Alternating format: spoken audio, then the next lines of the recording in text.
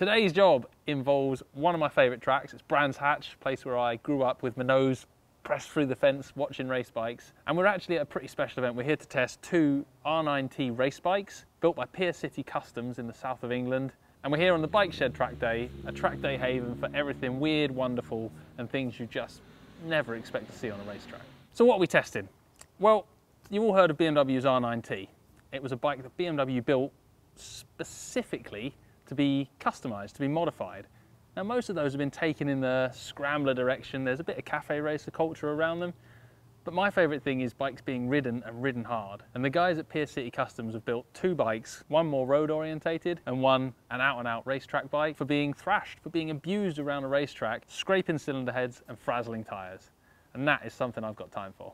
This is the Bike Shed Track Day. Now, Bike Shed, if you've not heard of it, you might have been living under a stone if you're in the motorcycle world. Bike Shed is a, a meeting place in London. It's a cafe in London designed for bike customizers, in people who enjoy bikes. You don't have to have a custom bike to go there, and it's not that old school custom culture of denim jackets, mullets, and raked out choppers. It's kind of this new wave of people riding and enjoying, sometimes modifying, sometimes not, but just enjoying motorcycles. It's actually a very inclusive place and it's something that anyone who likes bikes, you'd love to go to the Bike Shed Cafe in London. Now around that, they've built this whole culture of events, races and track days. This is the Bike Shed Track Day. It's a place where you don't need to have an S1000 RR on tyre warmers. You don't need to have a support van and trailers and 18 sets of tyres. It's a place where you can come on your strange hand-built cafe racer. You can come on a R9T race bike. You can turn up on a Multistrada with knobbly tyres. This place has got everything you can imagine out on track and a really good vibe to it. No one's sneering at what everyone else has bought up. It's just a brilliant track day with a really relaxed vibe, every bike you can possibly imagine.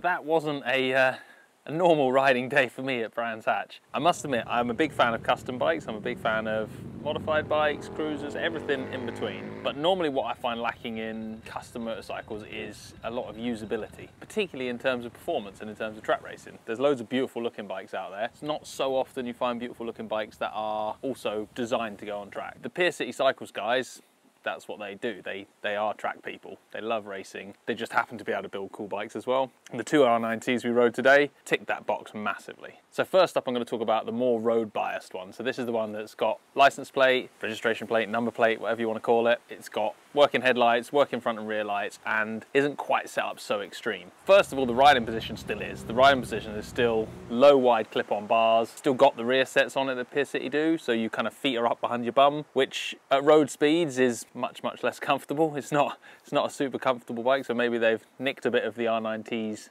road vibe there, but it meant that on track, you were in a really nice position to ride hard and fast.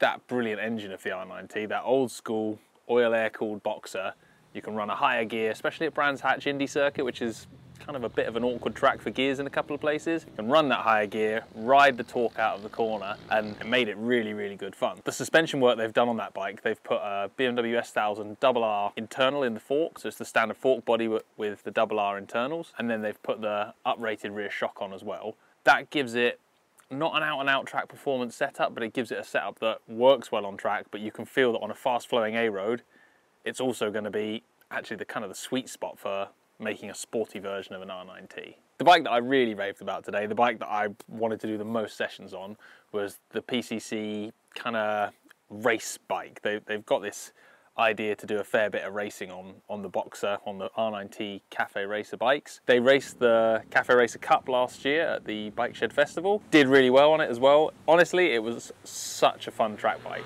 I've spoken quite a bit on various bike reviews about the difference between an out and out performance and a good track bike, one that's going to set you the best lap time and one that's going to put the biggest smile on your face. I've mentioned it quite a few times in the KTM Super Duke 1290. That thing is awesome. It's not going to set the fastest laps in the world, but it just puts a smile on your face. Now this PCC R9T race bike, it did the same thing for me. No, it was never ever ever going to set the world on fire in terms of pace and lap times, but as a fun track bike, as a bike to turn up with to a track day, or even a race and enter a weird class, it was bloody brilliant. It was just so much fun. They've put a even higher spec front fork in it, so they've used some of the BMW S1000RR legs and then put a proper upgraded cartridge kit in them. Again, the uprated rear shock. They've got an ignition box on it, so they've remapped to suit the fact that it's got no airbox and it's got the big cone filters. It's got a freer flowing exhaust. It's got a quick shifter. Again, clip-ons, the PCC rear sets. They've done a lot of small bits of development all over the bike, stuck some proper sticky track tyres on it, and what they've come out with is something that is genuinely brilliant fun to ride as hard as you want round track. It became not about lap times, but about just how fast could I make that bike go and enjoying riding it, enjoying riding a big boxer engine bike fast on track, constantly being surprised at just how hard it pulled and and how well it stuck in the turns. It's never, ever, ever going to win a World Superbike Championship, that bike, but if you want something that's different, if you want a custom bike or a cool bike that can be used on track, that is a hell of a way to go, and I definitely would love to ride it again, please.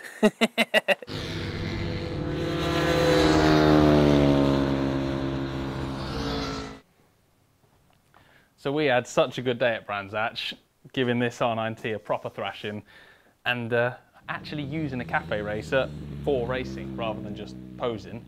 But I've wanted to come down to the Pier City Custom Shop, come and see the guys at Pier City Cycles and get a feel for what they do when they're not racing. See some of their other projects, see what goes into making bikes like this. So fingers crossed they're in, fingers crossed they've got the coffee on. Hello! Hello Chris. Look, um, he's wiping the coffee off his face already. Something like that. This, this coffee, before we get to motorbikes, is it better than Starbucks? Of course it is. Better than Greggs? Just about. Just about better than Greggs coffee because I didn't have coffee on the way here. But if you can promise me good coffee, I'm in. Is it? Is it? They are so they are so hipster these two. It's amazing. One of them is even into CrossFit. It's that good. right, I'm going to play the demanding guest part. I want coffee. please, please can I have some coffee. And I'm going to have a look around these bikes in your workshop. Jump straight to this one. This was actually one of the ones I rode on the track day.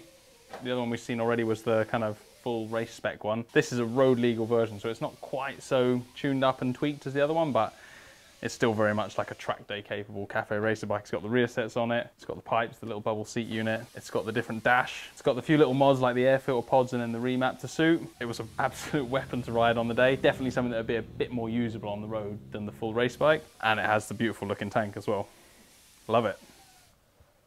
Look, it's a GS. I understand these. These go in mud and puddles and stuff. Pretty cool looking one though. And that is actually a final paint finish on there. That kind of flat green, looks wicked. So this is another one of the customer bikes. This is one where the guys have built them an R9T. The customer's come in and wants a, a custom version of a GS that will still work as a functional touring bike, which is always, I think, more of a challenge than just making a, you know, a custom bike for the weekend to make something still functional but look different, which is cool. So when BMW actually launched the R9T, their whole, their whole bag with it was that it was a cool looking bike that then could be customized and yeah, give birth to places like this, give birth to you know a whole world of people tuning and modifying their bikes. So it was made as a very modular thing. This is a completely stock one with the option 719 paintwork, which is BMW's kind of in-house custom stuff. But it does go to show that actually you start with a bike that kind of looks really nice and looks quite trick and custom already, and then you can then go a bit crazy and add as much or as little as you want to the original thing. I've got my fancy coffee. Is this oat milk? Always, yeah, I feel like I'm getting into this hipster thing. I can do it. What is it that allows you guys to do this as a job, as a living? So we, we run the business as sort of twofold basically. We've got the cycles, which is all the, the actual bikes, everything you see in the workshop now, and then we've got the custom, which is the sort of parts development, parts retail sort of side of it as well. Stu sort of did, did some customization when he was at Harley, and then we, we sort of went apart, and then we met again when we were doing some racing stuff as well. There's a lot of there's a lot of yin, yin and yang between the two of us. So like where sometimes I get myself way too excited, Rory will be like, "Dude, you chill out, chill out a little bit and bring me back down." And in the same way where Rory might look at something and go, oh, "Maybe glass half empty," I'll be like, "Man, let, let's turn this around a little bit." But I guess it's the competitive edge as well. Like when you want to be good, you want to be good at anything, whether it be like you say CrossFit, throwing weights around, making fancy coffee, making fancy coffee, spannering, racing. But when you put all that aside, like you have to have a muse. You have to have something to be like, what's gonna keep me going? And then when you've got a mortgage to pay as well, that's even more of a incentive. But we want to be the best for the best. As well as buying like buying built bikes from companies, people a lot of people like building their own stuff and doing parts, but you guys do custom bits as well. Is that kind of the big bit of your business, the small bit of your business, or is it a bit of 50-50? I'd say it's, it's, it's sort of fairly 50 50. Yeah, We've got a website okay. where, where we curate basically the, the best products that we find that we want to you know sort of punt out to other people because we can highly recommend them. We won't put anything on that we think's crap. No. Stu took it upon himself to start doing parts that when we were creating bikes, we were like, oh man, it'd be so much better if we could just grab one of these off the shelf. Mm, And that's, sure. that's what Yeah. you started isn't it? Yeah, well, the, the like our go-to, our sort of OG mod is the airbox removal. Yeah. So PCC cycles and the use of the R9T came out of that one mod. The Yeah. mod came before the bike almost.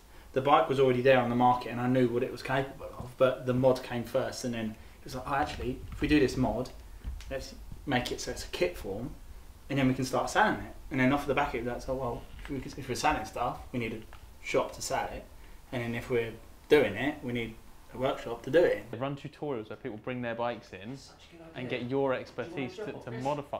For your journey home, sir. Oh mate, look at that! to. I love CrossFit. You guys. we guys. love you more. Bye, Chris. We are finished at PCC Cycles. No one takes things seriously around here, which I absolutely love. Genuinely, it's been really nice to see customs and racing all in one place. The passion for building bikes that are good looking and fast is something that I've got a lot of time for. I'm not sold on CrossFit or hipster coffee yet, but we'll see how it goes. Bye. Ya!